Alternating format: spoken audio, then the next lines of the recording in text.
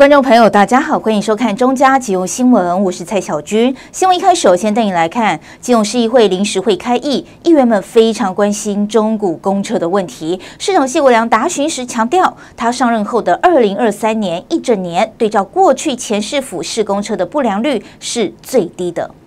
基隆市议会临时会开议，市议员非常关心前阵子以来中古市公车经常有抛锚故障的问题。有的议员认为，现任市长要更重视市公车经常故障的情况。发现从台北回来，我又来到了台北市的公车。哦，修正是台北市不要的公车，老旧的车椅、不良的冷气，让我们整个空车公车的空气品质非常的糟糕。感觉快要到家了，结果又抛锚了。司机压力也很大，每天都要提早上班去检修这个老旧公车，到底有没有可能又再度抛锚？但是明明就已经定期保养了，那能怎么办？以旧换旧，你们都会说机具老化，这是没有办法改善的问题。到底为什么？你接下来的中古车，你还要继续采购完吗？对此，也有议员调出前任市长时期施工车因为抛锚故障导致多人受伤的新闻片段，在市议会播映质询，强调中古施工车从前任市长就开始买了，更有严重的故障事故发生，不应该放大现任市长任内公车故障的意外，好像特别多。我要讲的是说，最近几起的公车抛锚事件，我们的议员还有什么？政论节目的主持人都太夸张了，有这么严重吗？比起林六章市市长任内的这件事情，我们的抛锚事件有这么严重吗？过去林六章市长任内也有买中古车，发生了更严重的交通事故，也是说有刚保养啊、刹车失灵啊，我们国民党的议员啊，通通没有指责，更没有上政论节目去乱乱乱批评市政府。基隆市长谢国良答询时则强调，他上任后完整的二零二三年一整年，对照过去前市府在二零二一以及二零二二两年，二零二三年是公车的不良率是最低的。那以不良率来说，事实上本府从二零二一年、二零二二年、二零二三年，那本府算是二零二三年第一年上任哦，我们其实是在三年里面是最低的，啊是最低的。所以我觉得现在基隆小事啊，就会变成全国式的大新闻。这样对基隆的这个啊，大家对基隆的能见度、对基隆的了解，跟对于我们市政的宣导，其实它也不见得是一个坏事啊。但是我们就是会继续努力把它做好。但如果要提到这个公车的这个不良率的话，哦，就是救援率的话，我要跟大家报告，以二零二一、二二、二三来说。本府上任后完整的第一年就是二零二三年，其实是三年里面最低的。哦，那因为本府刚上任以后，的确也碰到，就第一年我上任的时候，我们的大型公车，啊，过去的这个柴油的大型公车就刚好就第一年就停止补助。那也就是在这个过程中，因为前市府也有采购公中古公车的案例。那因为我一上的时候，事实上我们就有手上有超过五十台。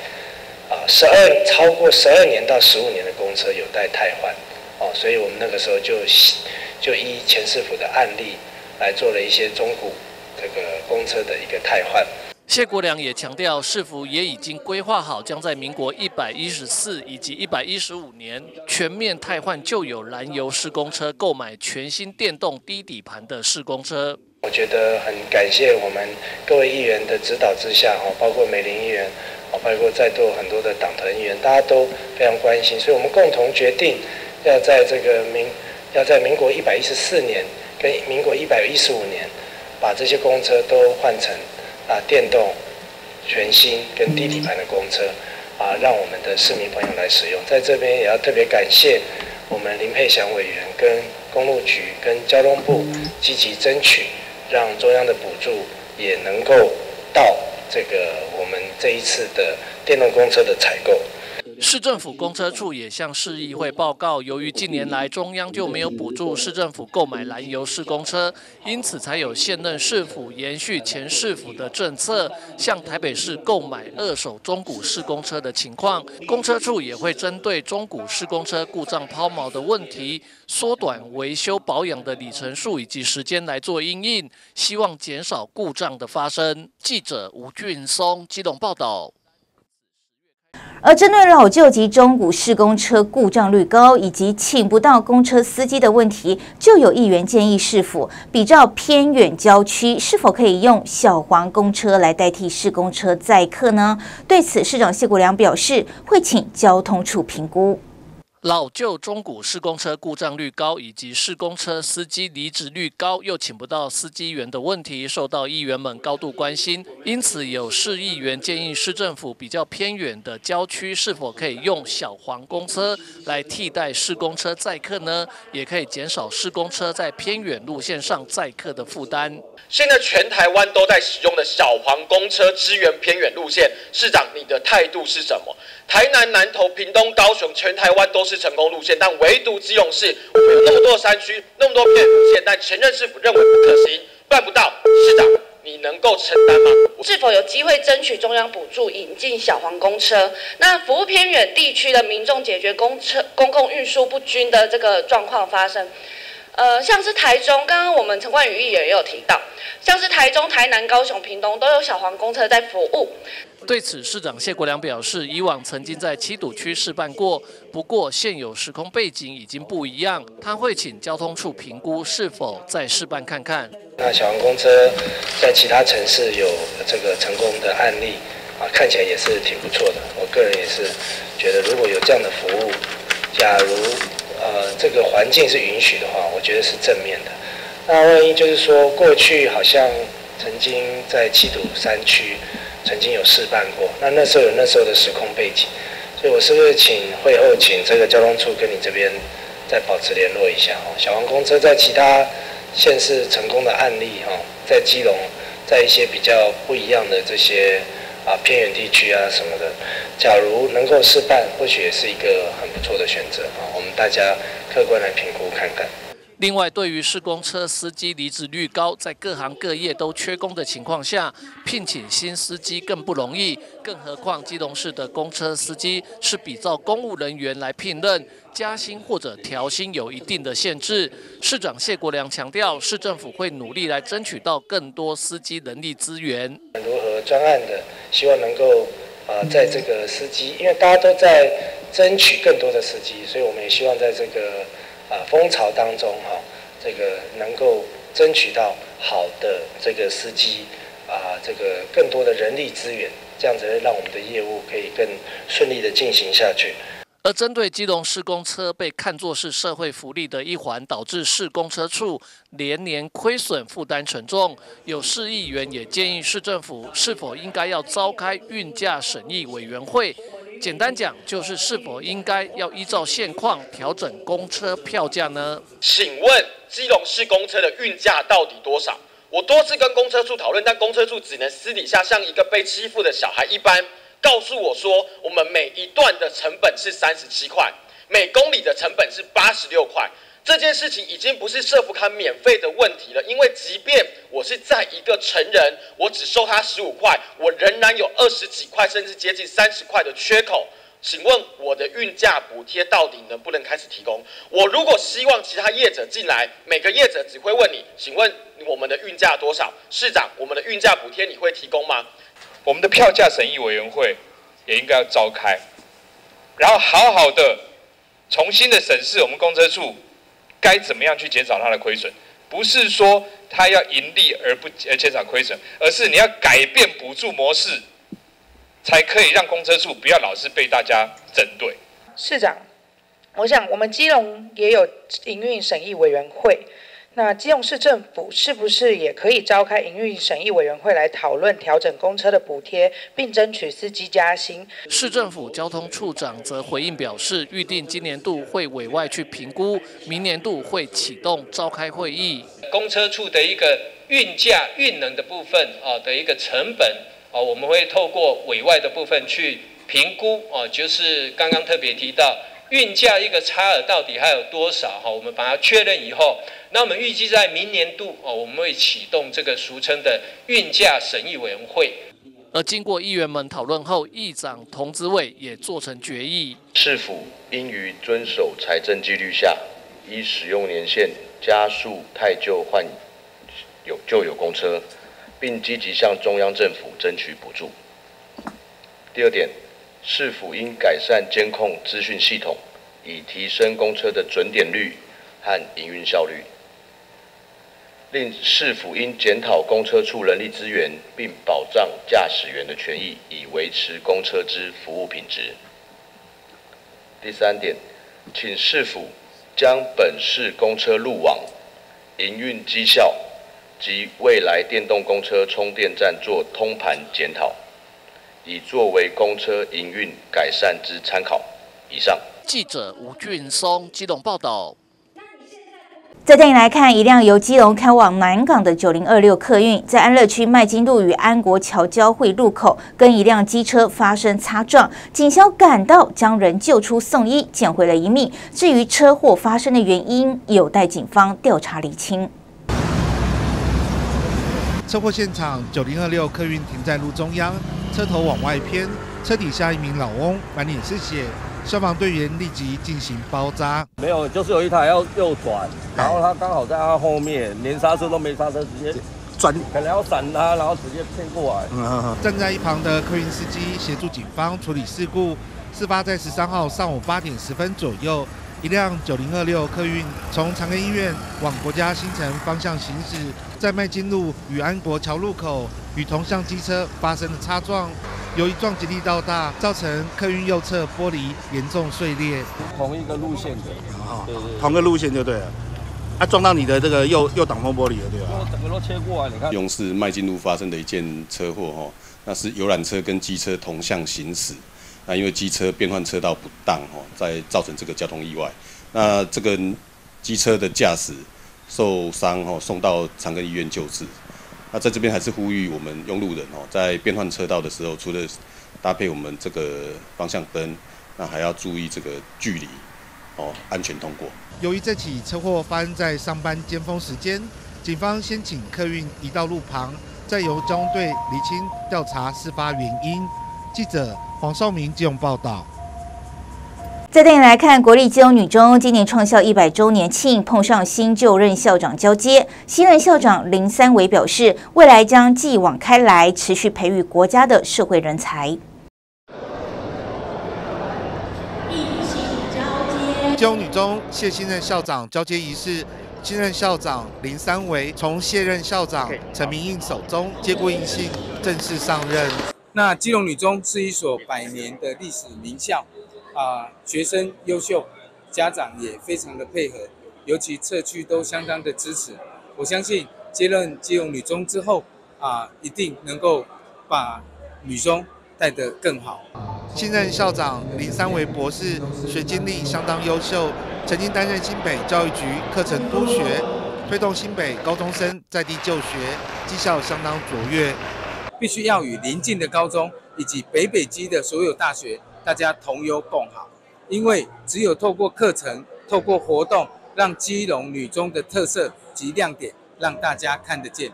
第四，我想配合啊基隆市政府的在地留才计划，让啊我们基隆的学子能够在基隆市政府以及包不管是奖学金或者是所有的奖助之下，都能够留住人才，为我们基隆的孩子啊展现一个呃比较崭新的未来。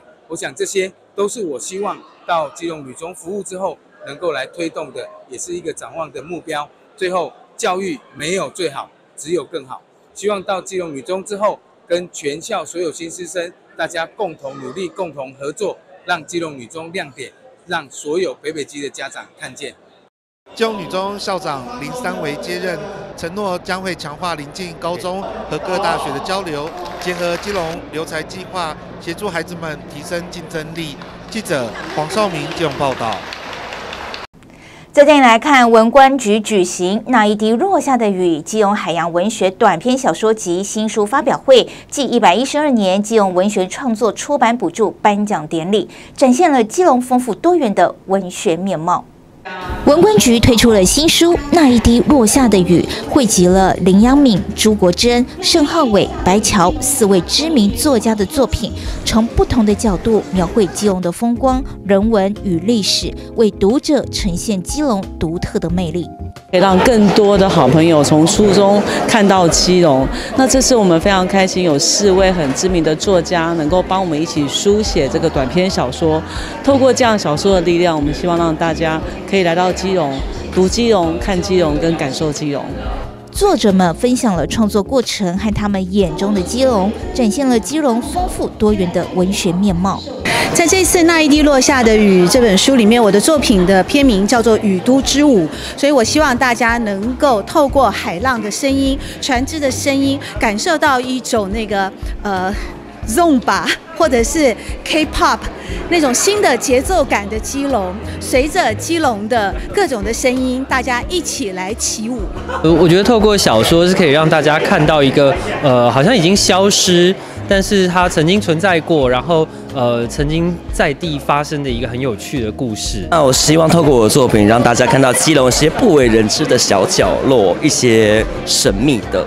透过这篇小说，你可以了解整个基隆过去，呃，从清代日本时代到战后现代。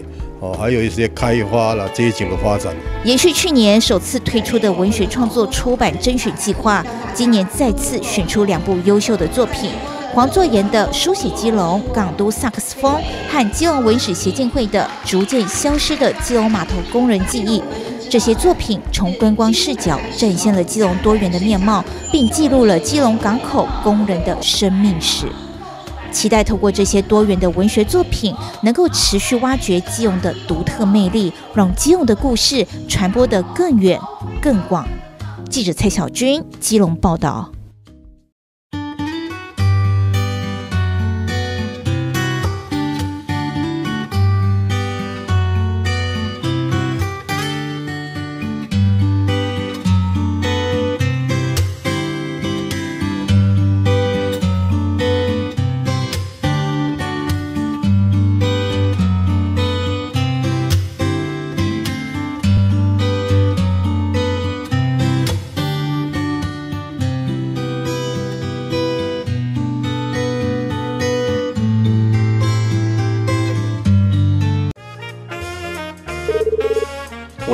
哎，舒淇啊，你怎么还没到嘛？我们三缺一在等你一个。你在银法据点啊？银法据点是什么？基隆市银法人才服务据点，提供多元化服务项目，包含求职登记、个别化咨询、履历见证及就业媒合、就业前准备课程、交流研讨会、征才活动、职场体验等各项活动哦。银法活动，世代共荣。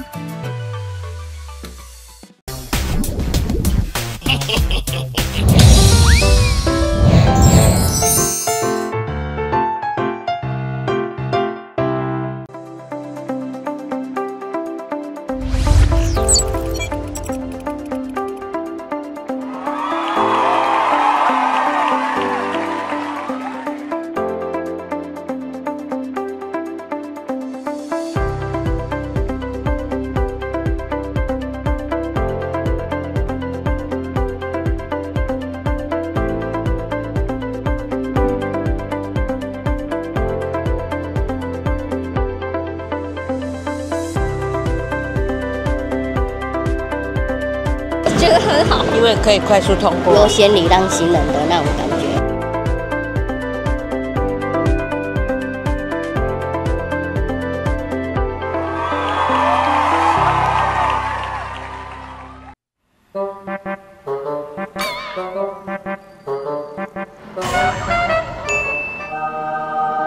社长，哎，你被挡住了。嗯，好，我来把它搬开，我来把它搬开。好中！哎，好了，可以走了。各位市民好朋友，你会担心像刚刚的许愿一样，想要进出的时候，结果都被盆栽都挡住了吗？我们七月一号开始有一个盆栽整洁的专案，我们将会用绿脚丫来代替行人需要净空的空间，让您可以有一个更舒适、更安全的行人空间。请一起响应我们的绿脚丫，来代替我们的盆栽。盆栽摆放要不妨碍交通，不滋生蚊虫，不制造脏乱。为了我们的干净家园，我们的盆栽要整洁哦。哇，这款酒好美又特价，刚好可以买来下周末的舞会上喝。等等，在网络、邮购、自动贩卖机、无人商店等地方买卖烟酒，没办法知道买东西人的年龄，所以是禁止的哟。什么？还要罚钱？嗯，疑似有烟酒未依法贩售，可拨打检举专线零八零零八六七八九零。还有还有，购买酒类时，酒瓶上有这个优质酒类认证的标章，就会更有保障哟。网络进销烟酒，优质酒类认证有保障。基隆市政府提醒您。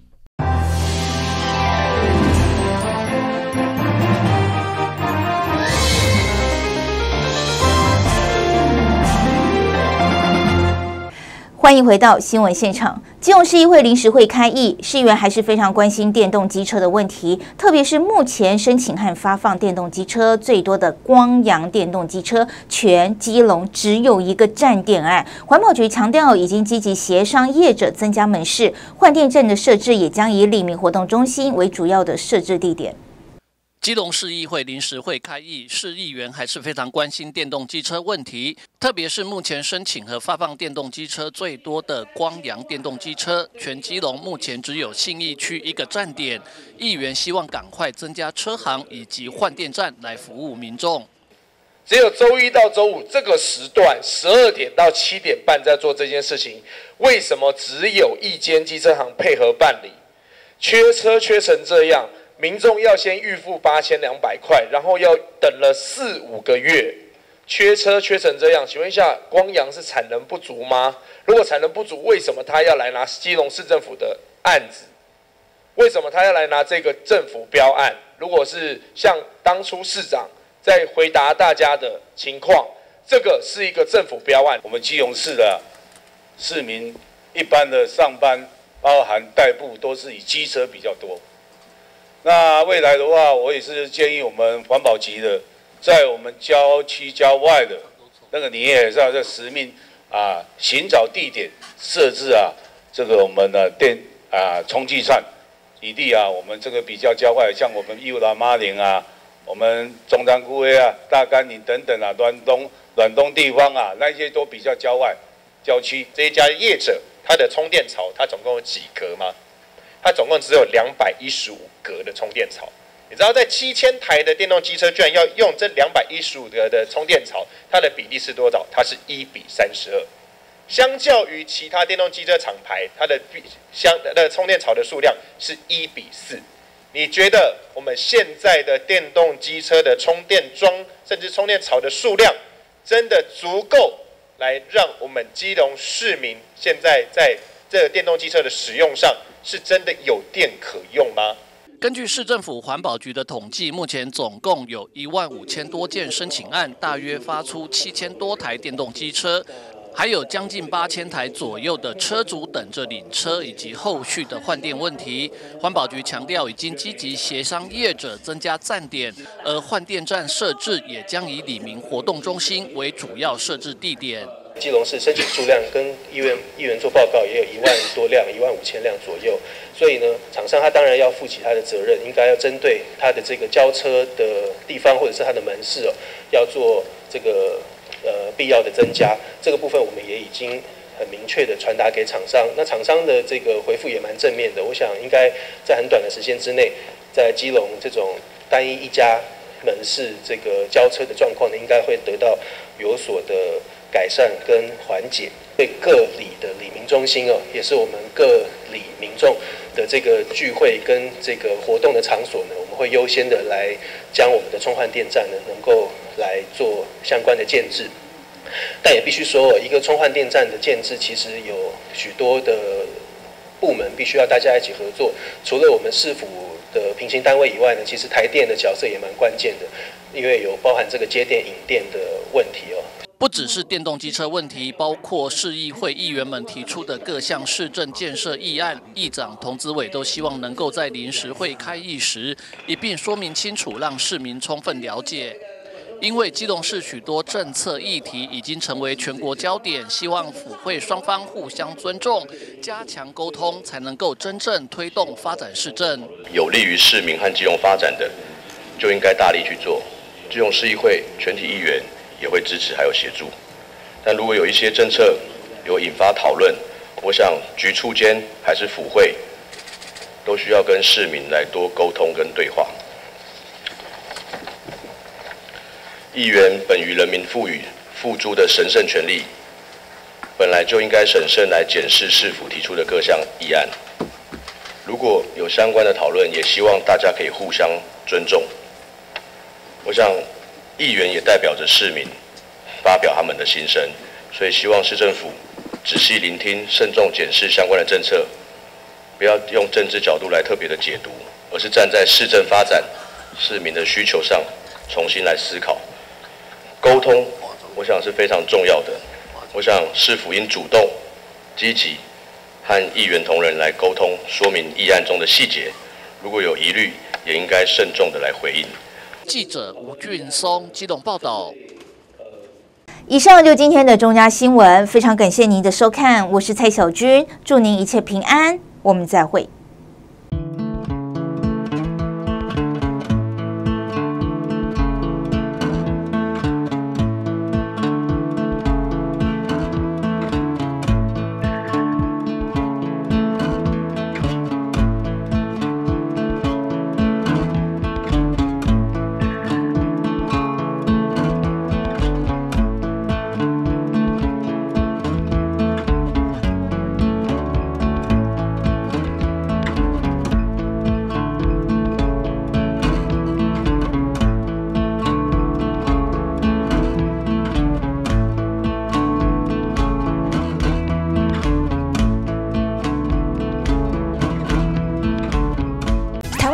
最多的灯塔在哪里呢？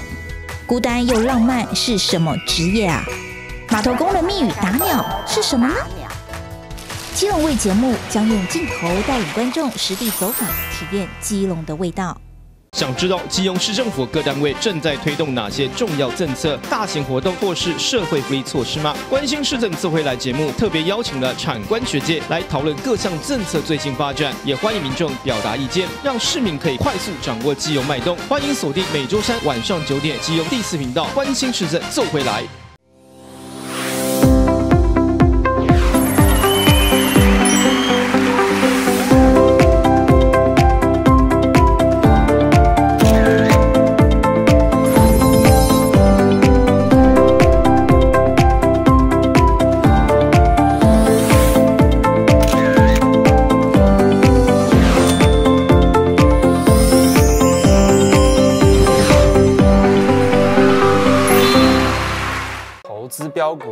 迈向财富自由。欢迎你，让我带你走向成功。哦，跟着老师就赚了十万哦！我刚赚到人生第一桶金了。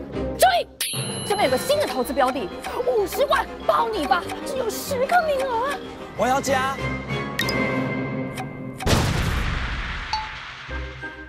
网络投资陷阱多，稳赚不赔是诈骗。欢迎拨打一六五反诈骗专线查询。